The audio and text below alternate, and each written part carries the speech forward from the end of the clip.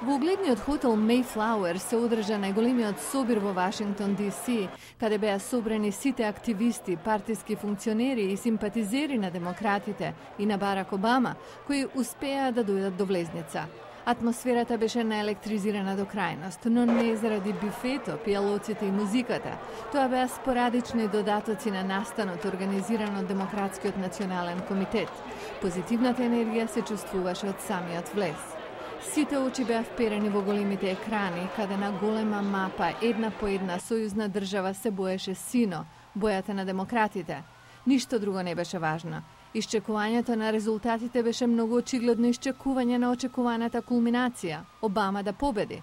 Ова беше историска кампања по многу параметри и резултатите полека се претвораа во неизин неизбежен завршеток. Оваа ноќ беше добро да си демократ. Опуштени и радосни сива овие луѓе како да беа дојдени овде да слават, а не да чекаат неизвестни резултати. Всушност, кога и оние малку неизвестни трки, како во Охајо, Пенсилванија и Вирџинија, паднаа во графата на Обама, изгледаше како меѓу толпата да се спушта лавина од позитивна енергија. За новинарите и за снимателите овде немаше место. Сите како да си зедоа одмор од предолгото следење на кандидатите кои до последен момент водеа кампања.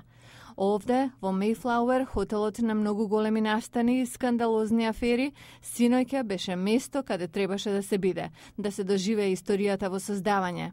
Во моментот кога ова го гледате, секе е завршено, победникот ќе се знае и официјално, а тоа никого овде не изненади.